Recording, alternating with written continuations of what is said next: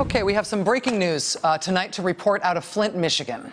In terms of the response to the lead poisoning crisis in Flint, President Obama, you'll remember last week, dispatched uh, this person, Dr. Nicole Lurie, to be on site in Flint, heading up the federal response to the mass poisoning there.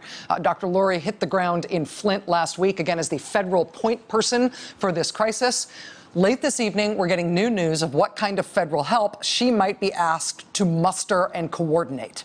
Governor Rick Snyder of Michigan tonight says he is requesting that the federal government provide medical care for young people in Flint.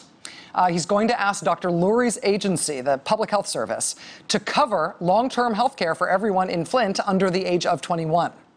Governor Snyder says tonight that he wants a Flint specific expansion of Medicaid. So that federal health insurance program will cover every young person in Flint regardless of income. He's asking basically for comprehensive medical treatment for the long haul for all Flint kids because they all drank that lead poisoned water because of what his administration did. Now, that is apparently the request coming from the state of Michigan. We have not heard back from the Public Health Service on this request, but, but this is new. What Michigan Governor Rick Snyder is asking for from the federal government long term help, medical help for people who live in Flint, and especially long term help for Flint's kids. Joining us now is the mayor of Flint, Michigan. Uh, I'm told that Mayor Karen Weaver is on the phone with us and not in front of a camera because she's just gotten out of a long meeting uh, with Governor Rick Snyder on this very subject. Mayor Weaver, thank you so much for being with us. Thanks, thanks for joining us. Thank you, and I apologize I couldn't be there in person, but we just finished up. Well, can you tell us a little bit about what happened um, in this meeting? What the what you understand to be the, the current state of the the governor's request for federal help and the next next steps for Flint? And you know what? And let me say this: I, I had the opportunity to not only have this meeting with him, but I was also in the meeting when the president, our national, our national, state, and local president, sat down from the NAACP, sat down and put some requests in place as well. Mm. But one of the things that when you were talking about the the medical help that that is going to be coming for the for Medicaid to be expanded. You know, those were things that we've been wanting. Those are still first steps because we know we have to get the kids identified to know what they need. So, you know, these are really good first steps, but we still have to put the services in place that they're going to need from here on on out. And so that's what we have to look at as well. So we still have to have a comprehensive uh, set of services for, for kids and families. But I was really pleased with this first step. I will be meeting uh, with Dr. Lurie. I, I just got back in town early this morning. I was in the snowstorm, so I have not had the opportunity to sit down with her mm. a second time. But that's what we want to look at is how do we extend all these kinds of services for kids? You know, we we want to look at other services. We want to look at extending WIC. We want to look at extending uh, Head Start, those kinds of things as well. So that's what we're trying to put in place. The other thing that the governor talked about when we were when we were meeting tonight is, you know, I've been saying that the 28 million isn't enough, and the governor said he recognizes that as well. That was another one of his first steps. Now, the budget is going to be uh, put in place probably within the month.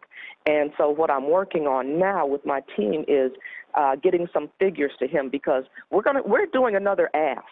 we we need some more money, and so I just wanted to be very clear with him that this is what we need to have have have happen next. He has given some some first steps that we are in favor of, we appreciate, but we know we need more because some of the other things we have to look at here in the city of Flint is what's happened to our our economy mm. as a result of this water you know, we, our economy has gone down. Our businesses have gone down. People aren't aren't coming into certain, you know, to restaurants.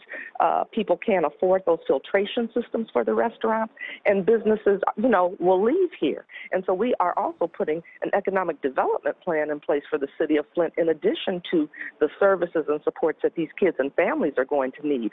So we had to look at other things because Flint has been impacted in so many ways as a result of what's happened. Mayor Weaver, um, in terms of recovery of Flint, I'm, I'm, very moved by what you're saying in terms of supporting kids and supporting their families in terms of kids that have already been exposed. But I'm also mm -hmm. thinking about the risk of continued exposure. We see all that bottled water being uh, brought into Flint, and that's it's great. And in many cases, it's heartwarming to see those donations. But you can't indefinitely run a city of 100,000 people where everything has to be done with water out of little plastic bottles. So, what about the what about the pipes? What about the, the lead pipes right. that were ruined that, in exactly, the city? Exactly, because we, I'm sorry, we've got to get started on those uh, lead lead service lines. That was one of the other things. So maybe I just neglected to say that. We've got to get working on that. We know it's a difficult time just because it's winter right now, and you know there are parts of the ground that are frozen. But that's that's one of our priorities. We've got to get that going because you're absolutely right. We don't know when this biofilm will build back up. We cannot survive on bottled water for an extended period of time. Karen Weaver, Mayor of Flint, Michigan. Uh, ma'am, thank you for your for your time tonight, especially when you are uh, so busy in, in doing what you're doing for your city. And I know we're going to see you tomorrow night at our town hall in Yes. Flint. I really appreciate you taking time. We are looking forward to it. We appreciate you as well. Not nearly as much as I'm looking forward to it, ma'am. Thank you. I'll see you then. Thank you. Thank you. All right, we'll be right back. Stay with us. Hey YouTube fans, I'm Luke Russert. Thanks for checking out our MSNBC channel. Subscribe by clicking right here and click any of the videos over here to watch the latest breaking news, mini documentaries, conversations from Shift, and other digital exclusives. Check it out.